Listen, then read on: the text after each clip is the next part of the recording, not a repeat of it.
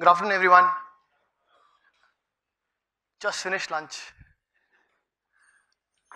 This is not sleepy time. Uh, I'll try it and keep this as interactive as possible, right? Uh, my talk is titled Safety Not Guaranteed. It's part of uh, something larger that we're doing today called the Application Security Clinic, right? Appsecco, my colleagues are in the audience and uh, uh, I'll explain what, what we're going to do uh, the rest of the session itself. my name is Riyaz Walikar. The title Safety Not Guaranteed, any anybody gets this reference? Anybody in the audience? Yes. Okay, it's a it's it's a movie about time traveling and how somebody's traveled uh, through time once and they're asking for volunteers to travel back with them, but they cannot guarantee their safety. Okay. Uh, we picked up this name because it sounded pretty cool, but apart from that, the idea that JavaScript libraries and frameworks, right? You have so many of them coming out every month, every year, and they all of them add features that were previously built. They take care of uh, security considerations that were found earlier as well, right? They may all sound shiny and everything. They may look shiny and everything, but how do you guarantee safety, right? I work for Appsecco. I am the uh, chief attacker uh, at Appsecco. I have uh, uh the company itself. We do a lot of consulting work, and the opinion, the advice that we give to clients is extremely pragmatic, actionable advice on terms of security issues that we discover. Right? We are a specialist security company.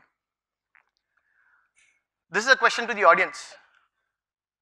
How many of you think this is a vulnerability? So if it's not visible on screen, that's the uh, that's a very popular site. Uh, you must have seen the URL around here. But uh, this site, if you open the console, okay, and you check the jQuery version, it tells you that it is 2.1.3.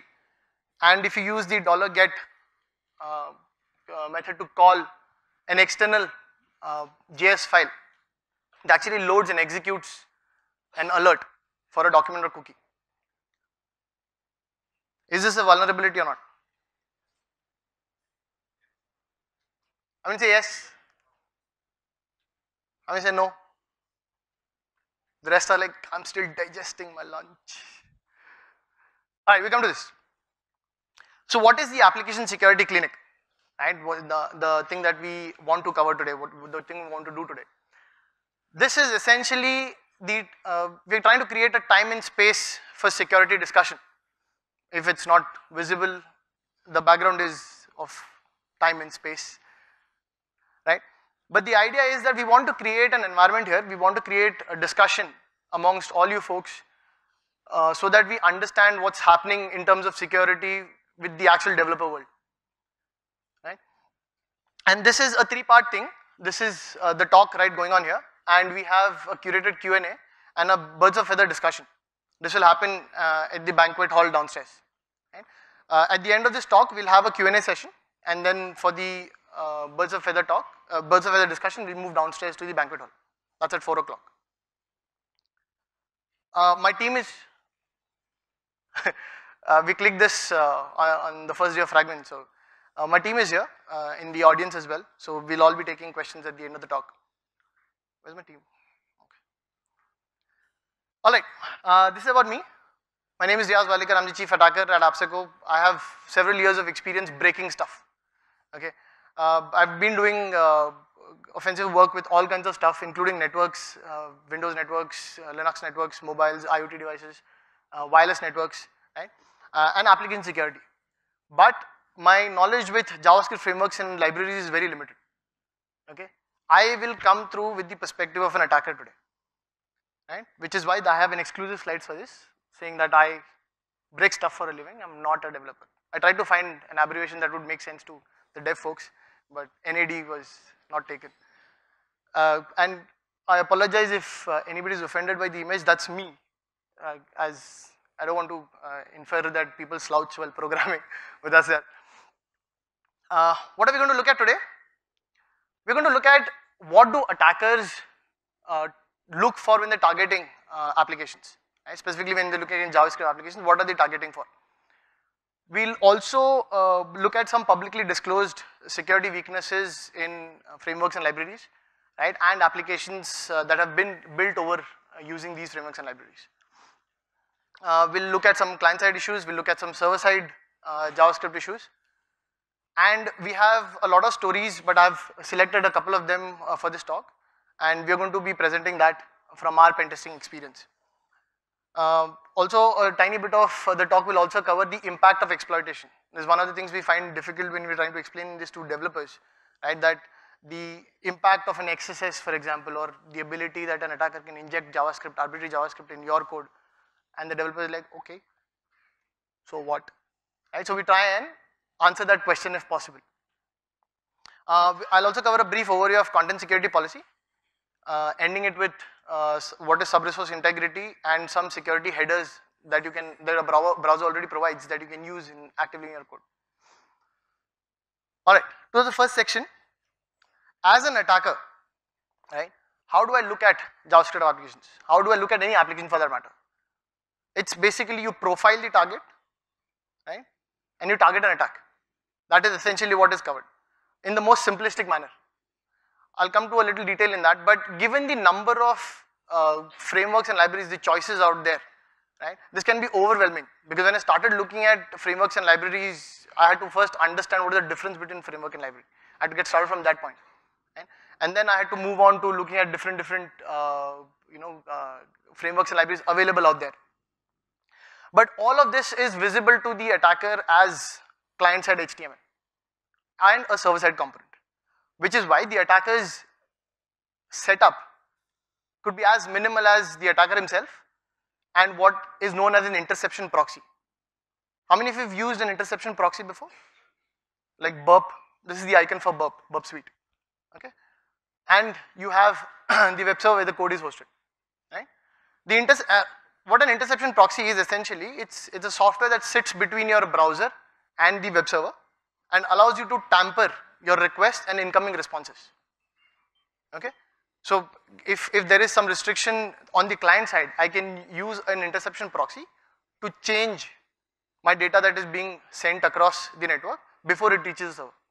And if there is some restriction that the code is going to place on a response, I can intercept that, modify it and let it render in my browser. That's what it, interception proxy does. Uh, Burp Suite, for example, uh, apart from being uh, an interception proxy, uh, has a lot of other features in terms of where you can use it to attack uh, repetitively, do a brute force attack, for example. It has bunch of modules, bunch of features that I'll not cover today, but as something that you would want to try, you could definitely do this. So when looking at JS apps, attackers, this is uh, like a brief summary. I, there's an extended version of this slide at the end of the talk. But what do attackers look for? The first and foremost when they're trying to profile the target, they would want to know what is the framework version. Identify the framework itself first, then identify the version, right? Because versions allow them to search for previously disclosed security issues. There, there are a lot of active security researchers who are targeting specific JavaScript libraries, JavaScript frameworks, and they uh, tend to find issues and disclose them publicly. All of this becomes useful when I'm trying to break an application. We also look at sources and sinks. A source for uh, when I'm looking at an application, a source is the point where data is entered into the browser's DOM and the sink is where it is going to be used. As simple as an input field and an inner HTML right. I, we also look for error messages and stack traces, uh, especially if we see the console logs, if there's anything that is printed uh, in terms of verbosity, and uh, especially client-side dynamic and hard-coded variables. We've had luck where we found uh, several times we found security uh, weaknesses because something that was hard coded inside the client side code. And obviously communication channels like WebSockets, WebRTC, uh, if I would want to find out the uh, WebRTC for example attackers especially use this to find internal IP addresses behind uh, NATed machines. Let's look at a couple of security weaknesses, right? These are a list of popular publicly disclosed vulnerabilities in different uh, systems and applications that have been using uh, frameworks and libraries. Uh, we'll cover the client side vulnerabilities first and uh, we'll move to the server side issues next. So there is a framework called Mavo. How many of you have used Mavo? It's fairly new. Okay. Alright. The idea is that in Mavo, the uh, URL object, right? You have a, a dollar a dollar URL. You could access the URL object using the dot parameter. So you have dollar URL dot a will give you access to the a parameter in the URL.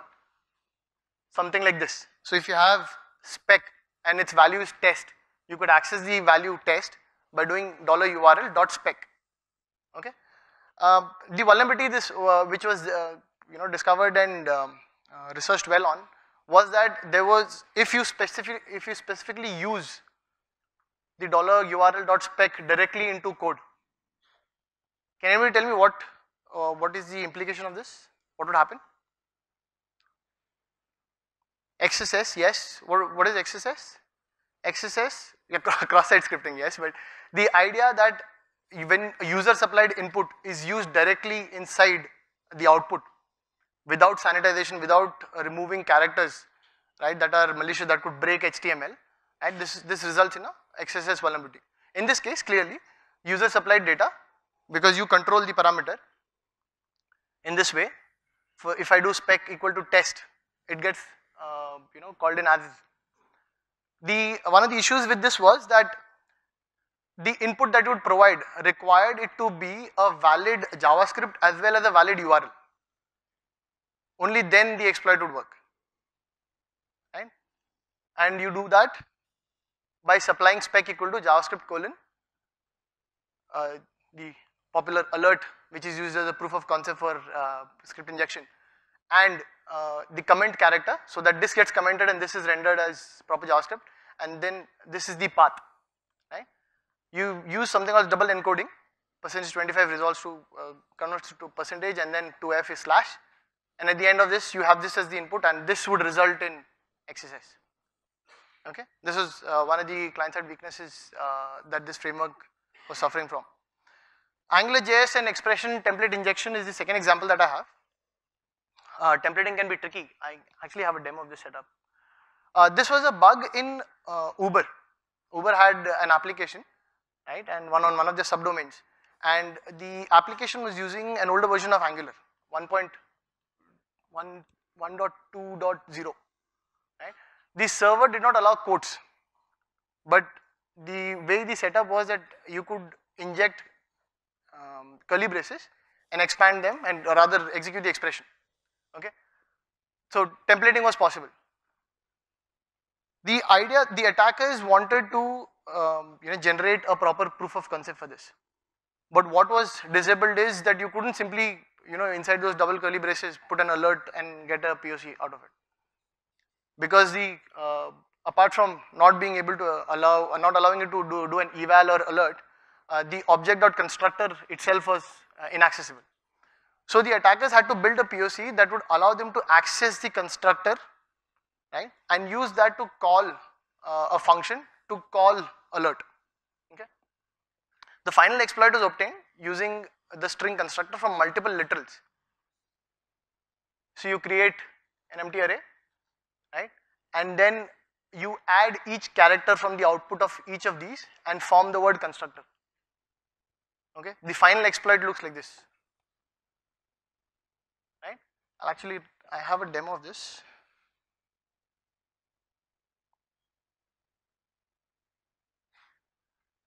Oops.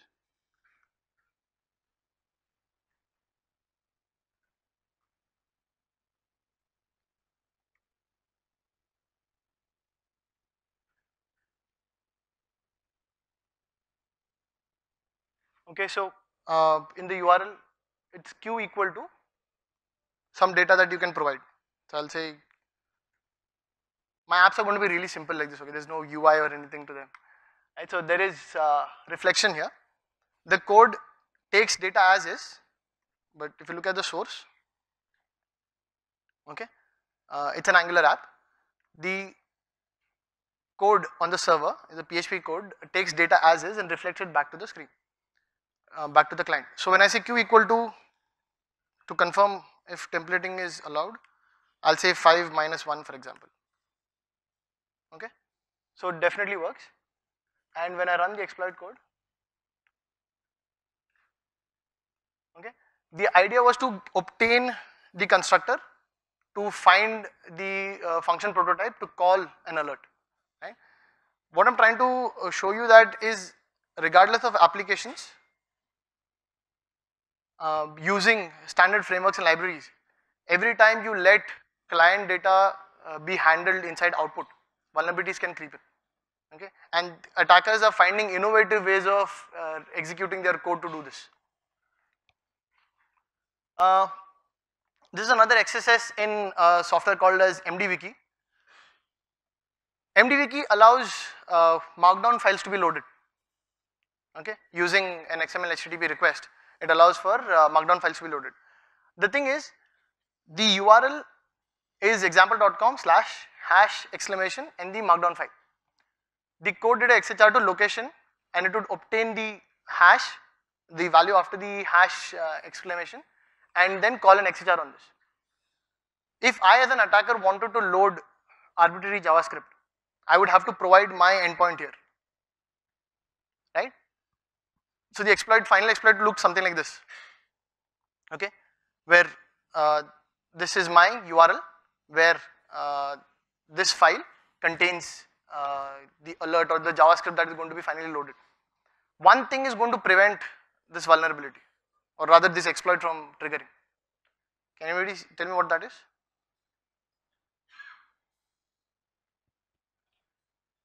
Yes?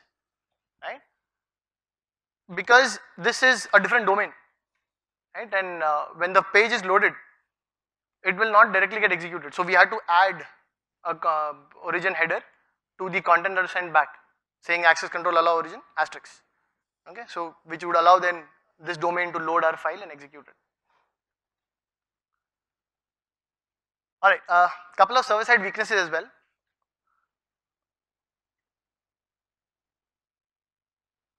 dust.js uh, this vulnerability was found on a paypal subdomain okay um, pretty well uh, documented as well Dust.js is a templating engine for Node. It used this this function has been removed, but um, uh, the older version of Dust and .js used an if helper.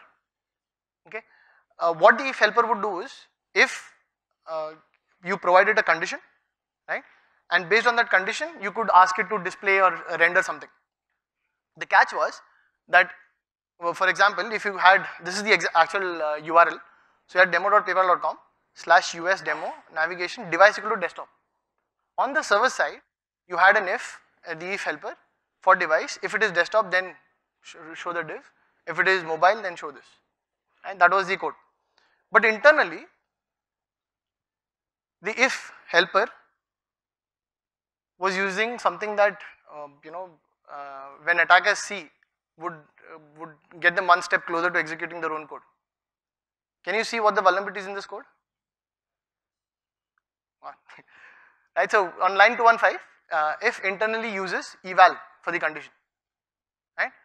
So uh, and apart from that, the application itself had uh, some filters to prevent strings from coming up. So the attacker concatenated arrays to empty arrays and injected the node express code that was required.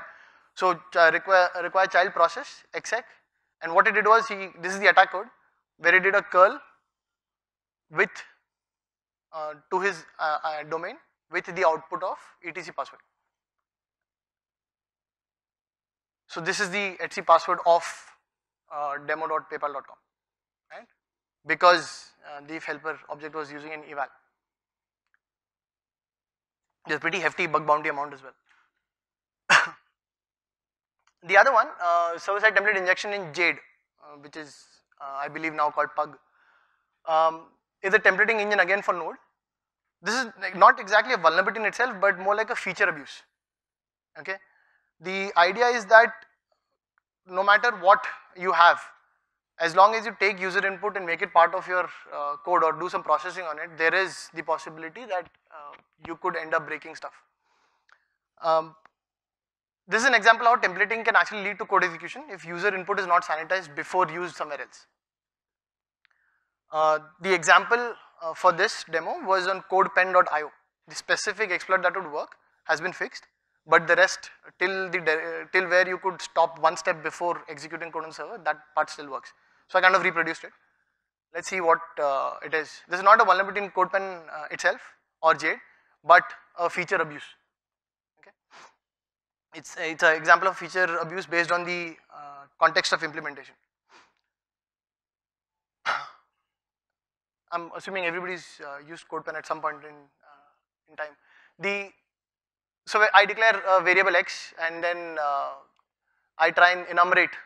My JavaScript is pretty bad, but I was trying to enumerate. Uh, you know, I was trying to get familiar with the interface uh, for uh, Jade itself. Then I look for the root namespace. Okay, and you can enumerate this on the server itself. I then try and enumerate the root dot process, okay, and it gives me access to all the other uh, sub methods and other things that I can call. So from this, the interesting bit is actually gone down. Uh, there were bunch of other commands you could run in terms of uh, what this would do. But what we what I did was I looked at the uh, in root dot process. There is a uh, working directory command which would get me the current working directory on the server. So I'm technically able to enumerate variables on the server here, right? And the next thing that I tried was the get UID. There was a function listed here called get UID. It would tell me the UID of the process, the owner uh, of this process that is executing on the server. But the bit that was uh, implemented was uh, they had a check on keywords like get UID and other things. So the, the way to bypass this was I simply split it into two strings, concatenated and called it. So that was like a bypass on their uh, protection. Okay. Uh, interestingly, I would want to, if I would, uh, not just apps, if I would want to execute my own code, I would require the child process. And I'm trying to uh, see if I can uh, get get access to that. So using uh, root.process, I enumerate main module and see if require is available. It is. So I try to arbitrarily load a module called A a is not found, right, which is why I get a cannot find module. But interestingly, before, after this was the next step where you could do code execution. Interestingly, the person who found this was able to obtain child process and issue an exec command. What this was doing was the output of ID was sent to this IP address on port 80 using netcat and they had code execution on the server. Okay. Again, not a vulnerability with CodePen, but feature abuse. If you're using uh, Jade to build apps, this is something that you might want to look at. Uh, this is another uh, interesting vulnerability with uh, Node.js, um, Node serialize rather. Uh, this was discovered by a community, fellow community security researcher, uh, his name is Ajin. And um, while doing a code review, we found that the user's cookie was being sent to the unserialized function right? and internally uh, the unserialized function uses eval for deserialization okay as a result of this and because cookies are obtained from the client right? And uh, most some developers i know would inherently trust that malicious data would not be found in cookies. You would sanitize input at the login or the the uh, input text fields right? But uh, there have been cases where we found security issues with uh, when we've put in malicious data inside user agent strings, inside cookies, right? Anything that go goes from the client to the server is tamperable because of the interception proxy, something like that. We can use intercept it and tamper with the contents and then send it out. I'll do a demo of this uh, in a little while, but as simple as it is, the, uh, the most simplistic code that uh, we could implement was this. If you notice, the serialize unserialize uh, function is called and this is the cookie that is passed. I'll do a demo of this uh, when we come to uh, the section on the impact, right? I have a pretty cool demo lined up for this. Some of these stories from our pen testing experience, okay, apart from finding uh, issues like these, most of the times we find issues that can be easily avoided if security uh, was built into the idea that attackers are going to send malicious content to my application, right? We've been able to compromise multiple applications um, uh, at the work that we do at Appsecco, we've been able to compromise multiple applications simply because of a very tiny minuscule vulnerability and we've been able to chain multiple of those across uh, networks and systems to be able to gain the ultimate price. The ultimate price for attackers is mostly data or uh, shell execution on the or command execution on the server, and mostly data, but also I prefer the command execution bit. The other folks in my team prefer the data, so there's uh, the difference in opinion there. Uh, let's see some of the stories. Oh, this was a popular one. Uh, internally, we had uh, one of our clients, a pretty large client in the financial sector. They had they were using a React app to deliver UI right and uh, JSON authenticated endpoints populated the data and that's that's what I understood of the setup. The uh, idea was um, especially when we were trying to figure out uh, endpoints in the application one of the things earliest things that we did was we looked at the application we put it um, when we try to access the application we use the interception proxy right we didn't have credentials for the application so when we were looking at the application we uh, intercepted the response and where it said authenticated no, we added authenticated yes in the response. Okay. We didn't have any session, nothing was created. But when I let the traffic come back to the browser because the change in the interception proxy, the browser uh, rendered some of the UI elements and we knew what the admin or the user would see. I work with visual cues, so it was important for me to see what the admin or the user would see. And it was pretty interesting to uh, see that uh, all the application had to do was once the JSON, uh, if authenticated, JSON would come back and populate it. It was, it was a marvelous discovery in my experience. But then I realized that uh, this wouldn't be a vulnerability because this is how apps work, uh, JS apps would work. Interestingly, the application was encrypting the password before sending it to the server. Okay, so when it had a login page and uh, the username and password fields were there, and uh, there was another third field that's not relevant. But the password field, the password was encrypted by, before being sent out to the uh, server. So in the interception proxy, I was seeing the encrypted password. Okay. And the question that we asked all the other attacker we asked was, how is this encrypting, right? Where is the key being stored? And the key was the static key uh, and it, they had done all sorts of things to hide the key with a lot of uh, JavaScript simply randomly calling a bunch of other things that were not doing anything. But the key was well hidden and it took some time to figure out that the key was right there on the client and what the key was actually. So they used a static key before being sent to the server and the idea was that the same key was being used on the server for decryption. And that's a fair assumption. If you encrypt something on the client and you send it to server, it would require the same key on the server to be able to decrypt it. The key and the IV was stored in plain text in a convoluted mass of uh, client-side JS, right, in, in uh, one of the libraries. The interesting bit was the client was reusing the same crypto components on multiple sites. Okay, so our, the client was a vendor for somebody else, right, and they were using, uh, they had built multiple applications and they were using the same key and IV across all of these applications. What is the problem with this?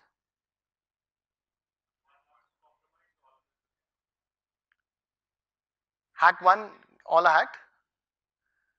The primary uh, you know problem we saw with this as an attacker was that if in the future if there is security breach, and we hear of security breaches all the time, and there are a lot of websites that allow you to put your email address and tell you uh, whether your email was found in a breach or not, right?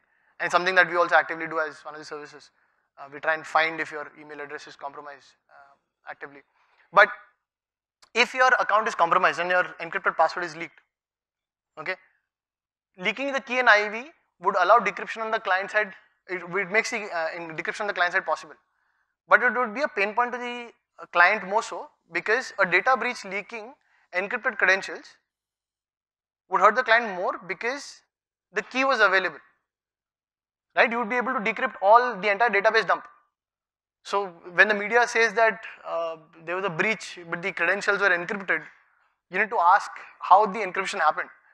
It might so be that the key is lying there uh, in the browser for somebody to pick it up and reverse your uh, encrypted uh, tokens. Uh, the second interesting uh, thing that we had for a different client again was again a very large client in the financial sector uh, it was using a very resource heavy JS framework. Interestingly, it had the X-frame options header set to prevent clickjacking attacks. Okay, I'll come to uh, the X-frame options header a little later. But the idea was that because of the X-frame options header, you couldn't overlay or rather iframe this uh, domain by another website. There's a whole series of attacks called clickjacking attacks where you can using uh, hidden divs and other things you can uh, steal um, data right? It would appear that you're putting in data into the actual domain but it's actually going somewhere else right? The xframe options header prevents that from happening. It tells the browser don't load this into an iframe okay? When i saw the xframe options header we were convinced that there is no clickjacking. But the interception proxy also has a scanner module it passively looks at the traffic that is going through the interception proxy and tells you if there is any security weakness, right. The, it kept complaining that the site was vulnerable, which was interesting because there was an X-frame options header, but the interception proxy was telling us that the site was vulnerable to a clickjacking attack. This was the header. There was a typo in the header. If you look at the X-frame options header, same origin here, there was a typo in the header. Can, can you see it? You will not believe when you see this. Right? There is a tiny space here, there is a single space at the beginning causing the header to fail. right? And we were able to then build a POC, uh, it allows to iframe the site uh, as if the protection not there at all. We created a POC of phishing attacks and uh, the fix was as simple as removing that space, right? But it, it crept in.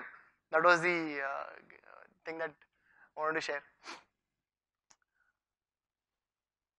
This was another one where uh, there was a client we were looking at and it had a regular expression that checked if the domain that it was trying to load had uh, a specific uh, string in it, right. Uh, again large customer in the automobile industry, they had a blog that had functionality to load pages, okay, uh, from the webroot directory. So the URL again was uh, something of this order, example.com slash hash register, okay, and cross-site requests are being prevented using a regex check. This is a regex.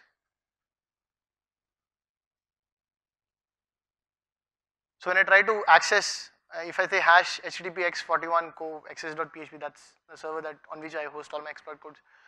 It said invalid page because it doesn't start with the, uh, so if, you try to load pages from the web root, it would work, but if you try to load another domain, it would not work.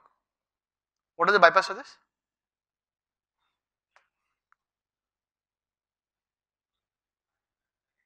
No, I can't change this. Like if I want to attack somebody else, what URL do I send them? It was, if you look at the code, it was check, it was not checking if it is in the beginning, it was checking if it is anywhere, right? So we were able to do this, load the attacker file and put the client domain at the end of the line and the exploit worked, okay. Were successful exploitation led to, we compromised a higher uh, privilege uh, account and we were able to log in and access a lot of data from this application itself. So the thing is you hear about XSS and you know uh, code execution vulnerabilities and other things and uh, what exactly is the impact right XSS we, we hear uh, you are allowed you can steal tokens and sessions and bunch of those things right uh, a little short on time so I'll just skip the uh, XSS demo but there is this framework called Beef, okay, which is actively used by a lot of attackers to um, take access to the next level. Not only apart from uh, stealing session tokens, but you can control the browser in a lot of other ways. And this is the interface. And once uh, once you are hooked, you you supply the uh, Beef hook.js, you will be you have access to this framework where it allows you to execute a lot of other things. Like if you're using an older browser, you can simply select Metasploit and say Autopon it will find a vulnerability uh, that the browser is vulnerable to and exploit it for you and you'll get a shell on the client's machine, right.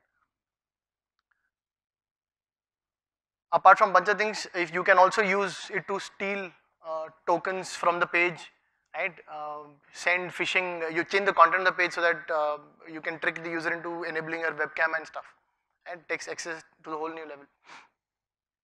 Uh, I'll just run the demo for uh, the node serialize bug.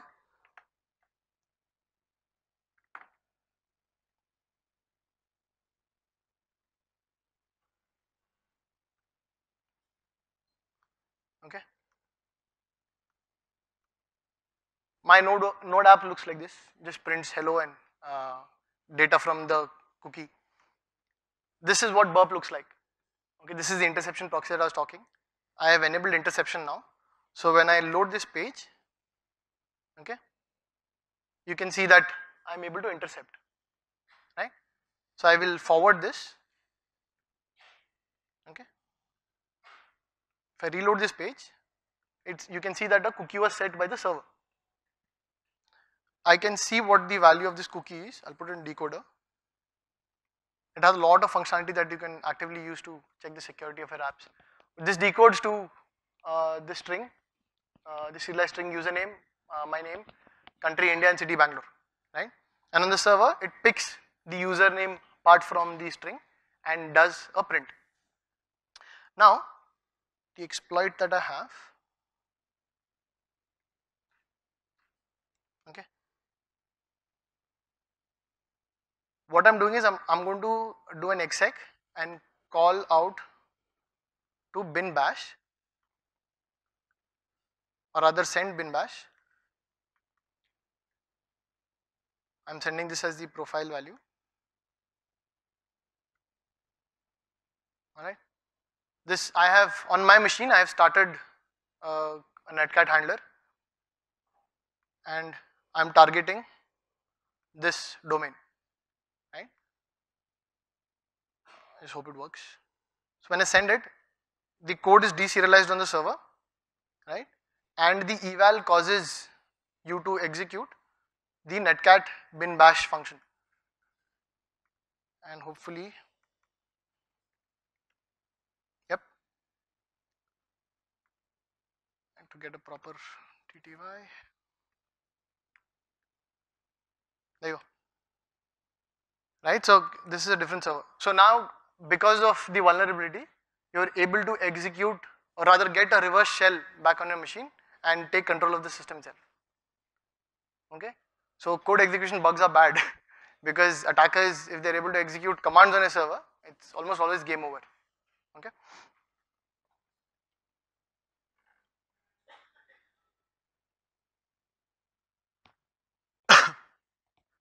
Alright, uh, we'll quickly move to the next section content security policy. Uh, this has been a standard for uh, quite some time where uh, by setting headers right in your uh, in, in, in, the browser in your HTTP responses you can um, choose where data is going to be loaded from okay. These are called directives and you can set the kind of directives you want. So for example if you want script sources to be a specific domain right you can set that uh, as a policy. There are a bunch of them this is what a policy looks like. In the most simplest form, this is what a policy looks like, right? It says default source. If uh, like the other sources are not available, image source or connect source, it fall back, falls back to the default source. So default source is none, script source is only self, right? Connect source is self, image source is self. So you can't load like cross domain uh, images and stuff. But this is too simplistic. In the real world, they look something like this. Okay, again this is for a PayPal domain as an attacker, this gives me a lot of information. I know more domains about uh, PayPal as one. The other thing is if any of these domains is a place where I can write my data as an attacker and then if I find an issue with this site, I would be able to load my script regardless of whether a CSP is there or not. Because if any of these domains, like if, imagine if this was like a Amazon S3 URL, right, I could set up my domain itself, uh, my script and then load it from there. Uh, CSP also has a reporting uh, format where violation reports are sent, can be sent as JSON post to the URI. If you, the policy looks like this, content security policy, and then report URI, the domain where you would want to collect your uh, data. Like consider this policy, okay. So you have default source none, style source, CDN and report URI is this. So when I try to load this, right, it uh, I'm trying to load a style sheet from the same domain. This will fail.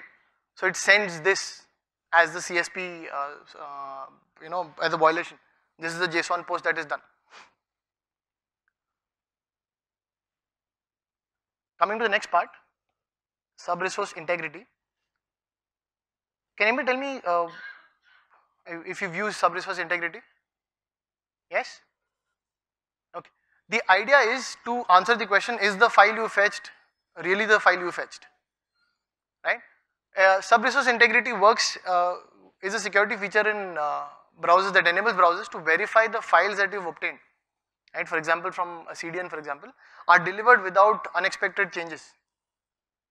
It works by allowing you to provide a cryptographic hash that a fetched file must match. Right? If you if you get a file from a remote CDN, its hash should match the hash that is already in script in, in your HTML. Why do you think that's uh, that's necessary or why do you think that will help? Right? If somebody tampers with the content on the way, the hash will fail and the browser will not load the file. Right? So it's, pretty useful. Uh, this is how it looks like. You have script source and the source and the integrity uh, variable set to the SHA of this file. How do you generate this on the server? multiple ways you can uh, use OpenSSL or SHA-SUM to generate this and put it in the page. So if somebody tampers with this, you would still, the browser would still not, the browser would not load the file itself because the hash uh, check has failed. With combination CSP, you can add it uh, to content security policy, require SRI, that's the directive for script and require SRI for stack. These two directives is something that you can pass.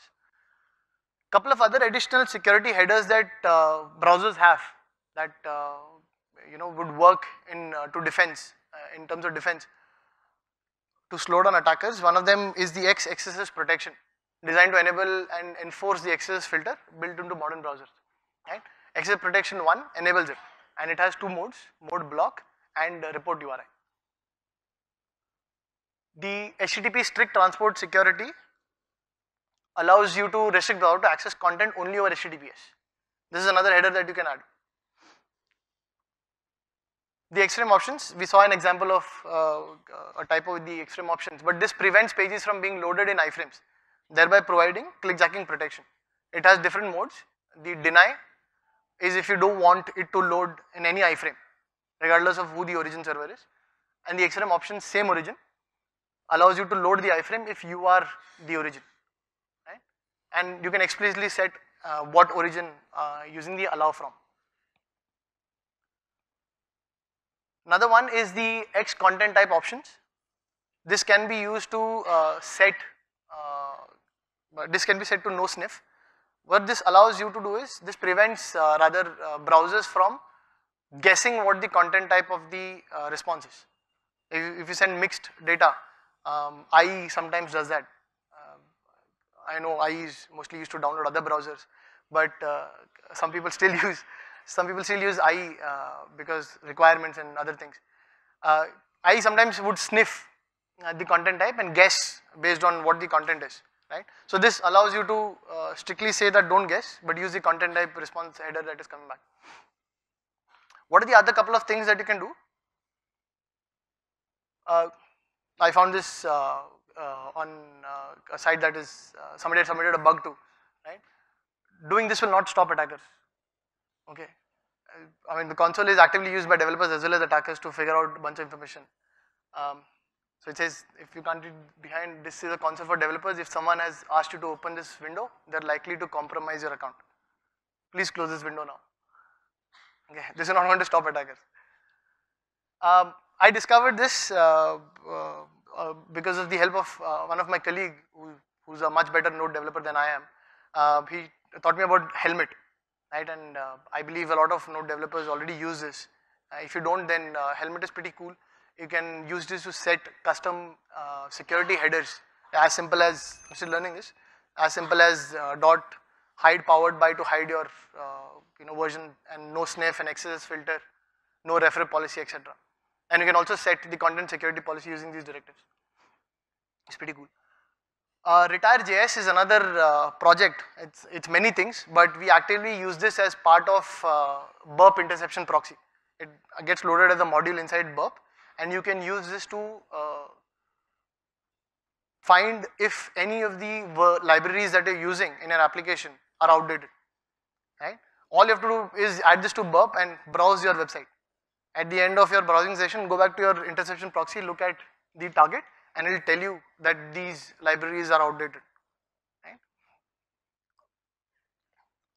CSP evaluator is another uh, website that you can use to see if your CSP will hold or rather it is syntactically right and uh, hold true. Uh, you can try different uh, directives here and check if your uh, CSP directives are syntactically right. So uh, one of the common questions that get asked is where do you start if you want to look at application security, right? And where do you where do you want to go next? And if you want to break stuff and uh, understand the mindset of an attacker and other things. The OWASP project is a very good resource.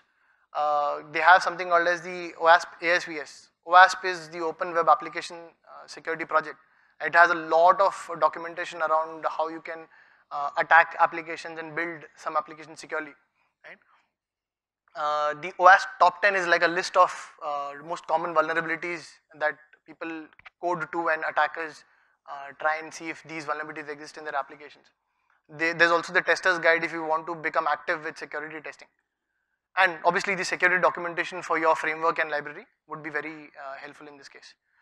Uh, apart from that, if you start thinking like a potential attacker, look at the attack surface that your application provides, right? And what are the assumptions that are made already in the system?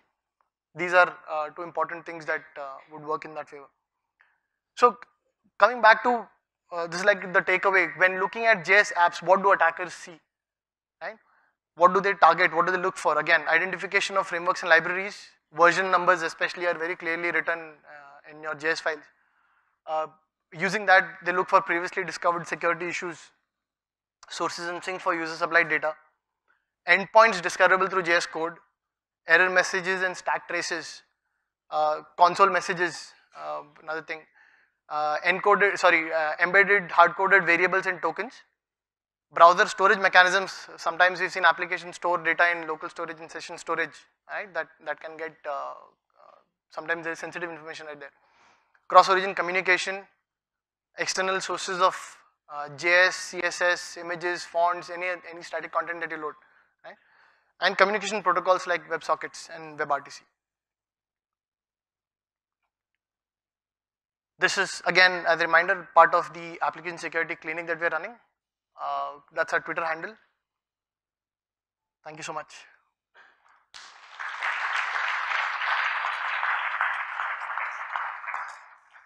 We'll have uh, uh, a question answer session now. I'd like to call upon my colleagues Akash Mahajan and Abhishek Datta as well on stage. And we also have time for questions in the hall. So if you have any questions. Yeah, this side. Um, so at the start you showed JS-foo website, but you did not answer the question. I was waiting for you to ask.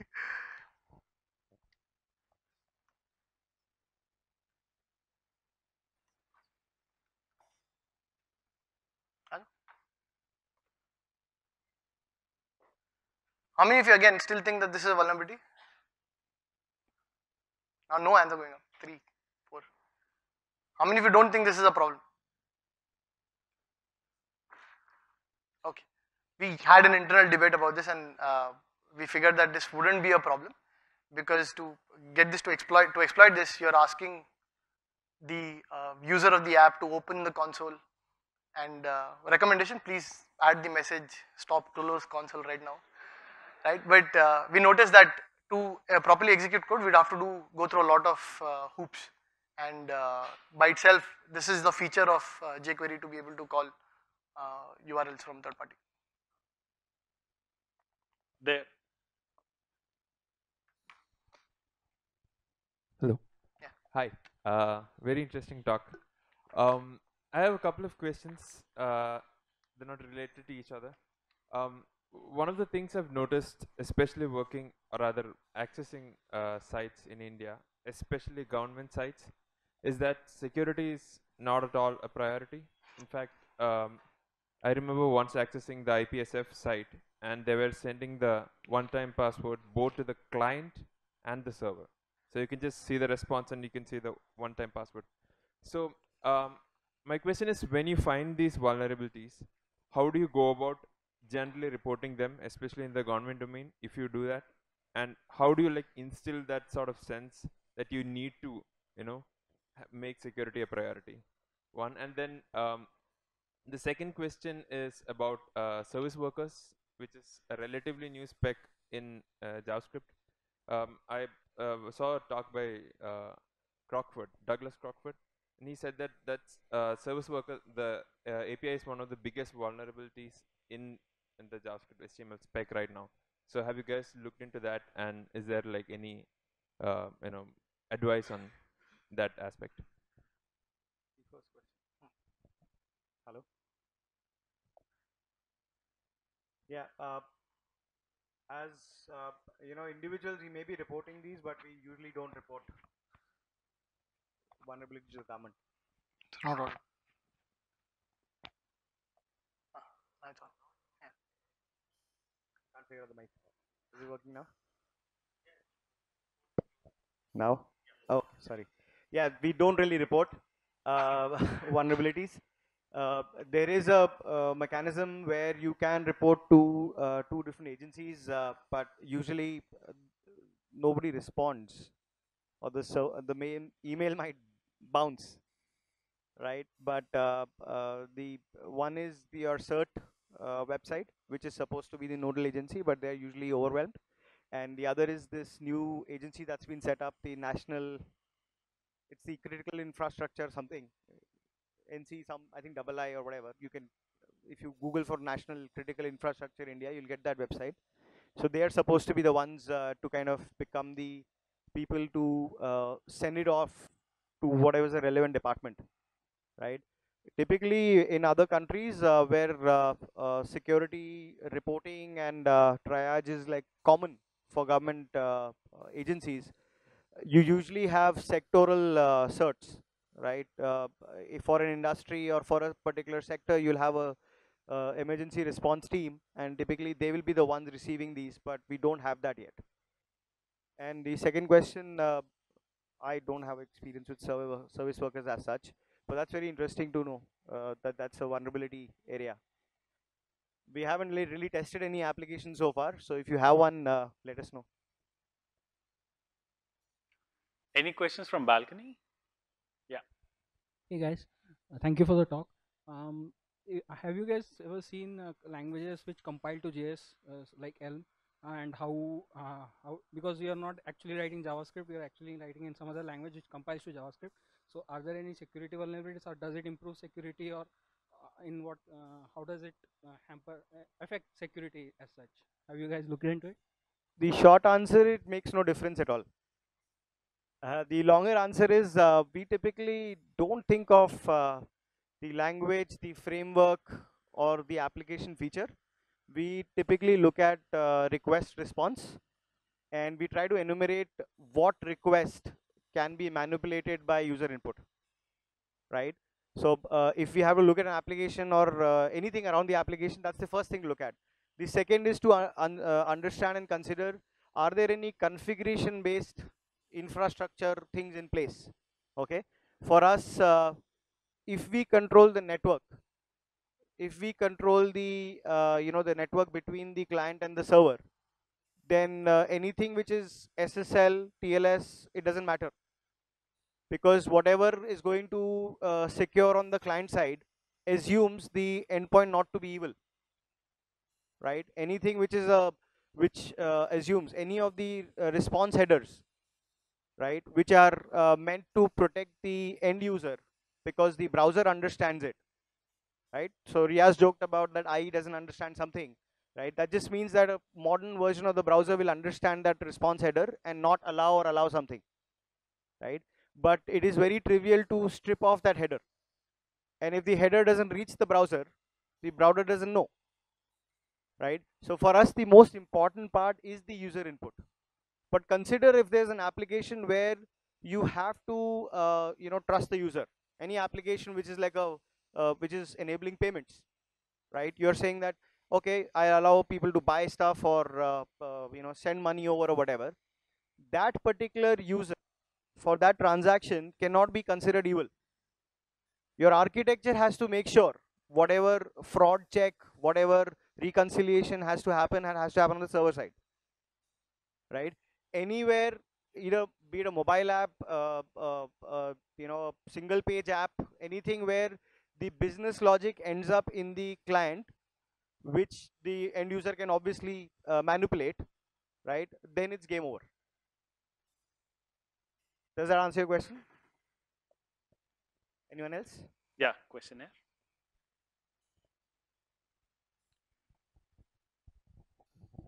Hello. Uh, please stand while So- asking the question. Huh? Please stand up while Sure, asking sure, the sure. question. We are No. recording. So. Fine. Okay, one day I was uh, creating one application where uh, a user can enter uh, some numbers and number used to validate on the server side. It should not be zero or it should be the valuable point what he has. So if you enter the maximum limit of the int of number, so Node.js was not checking that one and user was able to enter the number. How to tackle that one? On the You server side, the have a different uh, data type for the check then? Mm-hmm. No, g- e- even before that, uh, do you, if your uh, design, if your architecture for the application, uh, your requirements have the number to be in a particular range, Correct, correct. right? You can check only for that range. And I think this is like an overflow uh, that Node Uh, doesn't so recognize. uh, what you're saying is that if the number is larger than certain value, then uh, Node.js is not considering that. I really think you should look into the documentation of Node.js, like how it treats the integer and what are the corner cases, and accordingly handle that. Like it will raise a runtime exception then. Int 16, int 32 different.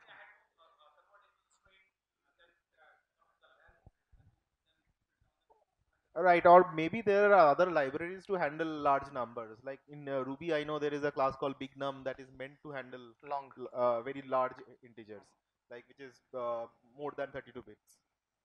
So, Yeah, question that side. yeah. PHP also had the similar flaw. Question. Thanks. Uh, so usually what I see in, in a lot of teams is that security is always an afterthought, right? Like people, uh, after the company is big enough or after they get hacked once, that is when people start taking up security seriously, right? And I guess as front-end developers, most of the attacks start at us, right? Something as simple as XSS. Uh, so how, I'm kind of asking for recommendations of what are the few things that like where do front end developers get started and how do they make security part of their development process rather than an afterthought You want the funny answer or the real answer? Let's start with the funny one Change the company.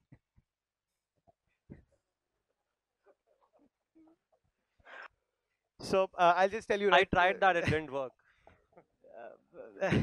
well, someone who's hiring, you know who to talk to.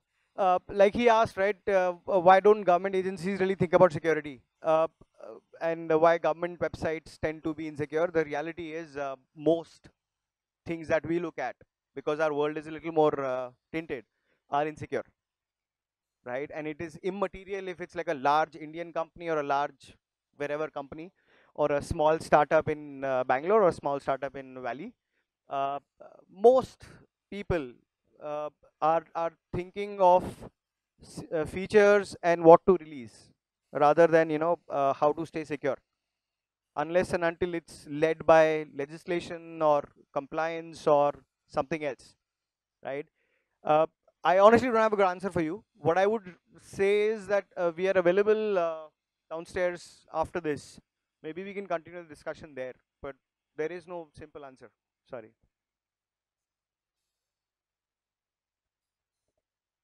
Uh, the resources available what he's asking is how does he convince his company Oh, OWASP can't really tackle that Sounds like this will be a fantastic discussion for the rest of this clinic, which is at 4 o'clock downstairs in the round table area. I think we're ready with our next presentation, so let's give a round of applause.